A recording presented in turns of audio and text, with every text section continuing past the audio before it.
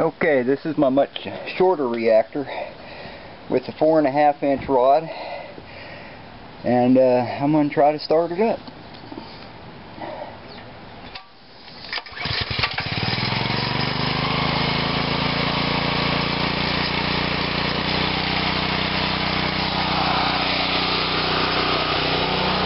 Well folks, I think I actually got it kind of figured out a little bit. It fires right up anymore.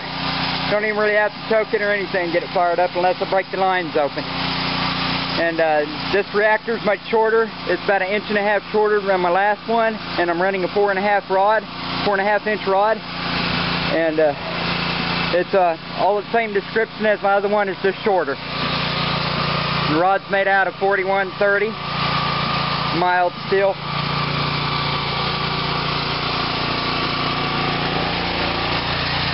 Also, since I made the reactor shorter, it, uh, well, tends to run a little bit better and they don't use much fuel.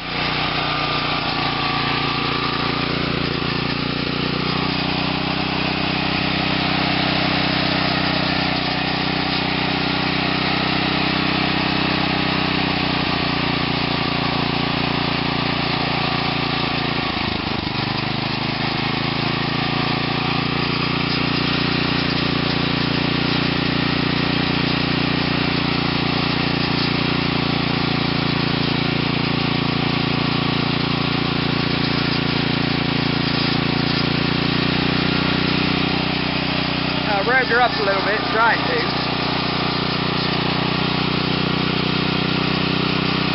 There we go.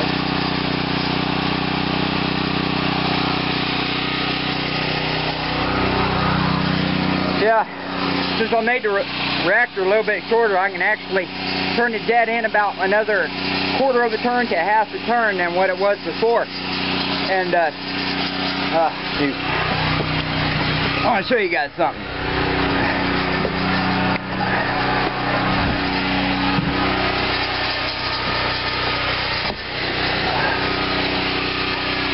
This is the rod in the longer reactor. It's 4130. So you notice the scorch mark on the end of it? There's a scorch mark on the end of it. And I think what was happening was after the reaction it started burning the fuel after that. So I made a much shorter rod at about four and a half inches and I'm in the process of breaking it in right now.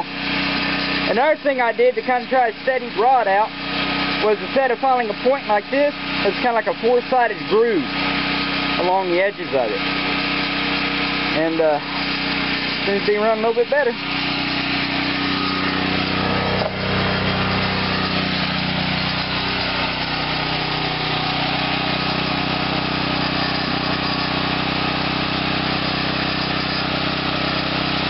Still hear the rod banging around on the inside of there. It's uh, them rod stops is harder than hell to center. Someone posted that. You know, it sounded like it was a little out of balance. Well, I guess it is because uh, I just need to make the glorified rod stop somehow.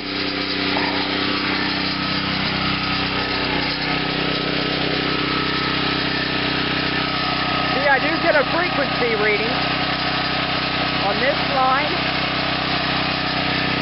but I don't hear things in my way.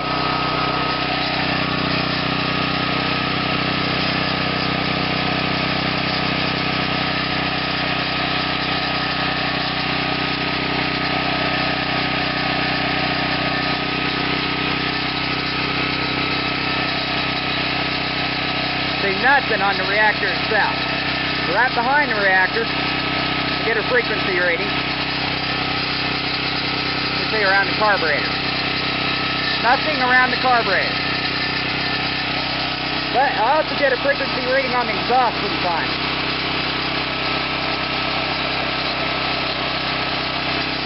That's burning my multimeter. I better cut that shit out. I don't really get any amp readings.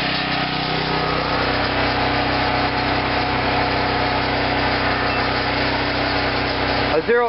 Yeah. Damn light. Zeroed it. So on DC.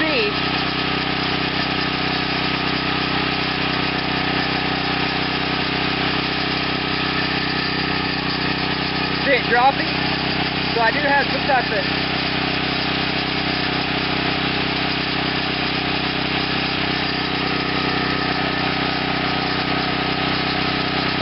nothing there.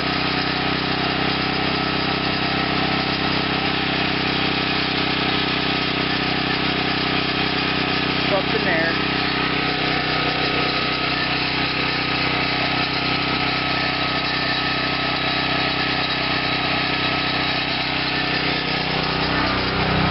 Well, hell.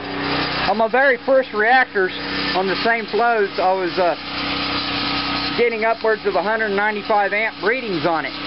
But since then I have not been able to get readings like that again, only the frequency reading. But one big difference there was, the, probably the biggest difference out of all of it, was it was like 32, 35 degrees outside that day. I mean, it was just above freezing. And so the intake air was extremely cold. You know, and that might have been, played a big role in it. And so in the mill, I got an ultrasonic fogger coming in. It's a three head type Nutrimist. I'm going to try to use to fog the water and then make some type of draw you know, to where it just draws it out the top without so I control how much goes into the reactor. But that should cool it down quite a bit. Maybe make it run better and cut the gas down.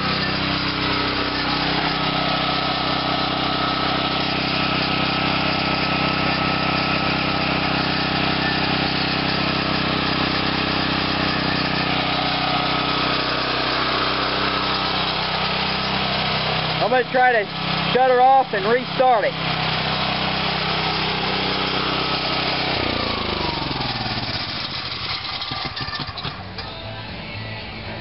Well, I shut it down, and I'm going to see how easy it'll restart without having to choke it or anything. But it is warmed up, of course.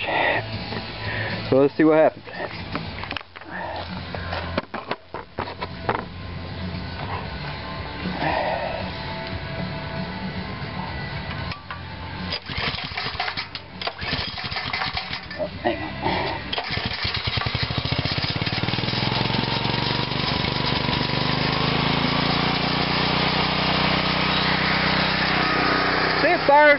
Fires up pretty good.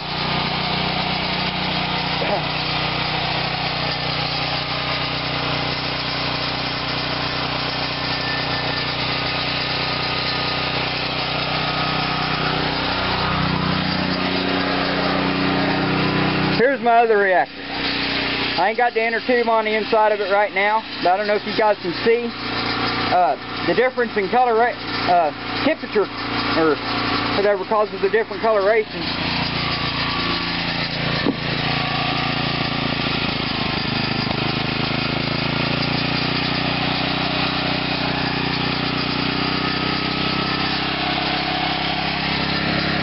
See, look at the difference. I run this reactor for about maybe three hours before I looked at the magnetic signature on the rod and decided to make a shorter reactor. Now, I get this bluish hue from here to there, but it's kind of cooler on this side. I need to try to get one of them infrared thermometers I can take temperature readings, but hell, I'm just a hobbyist, you know, I don't have equipment like that yet.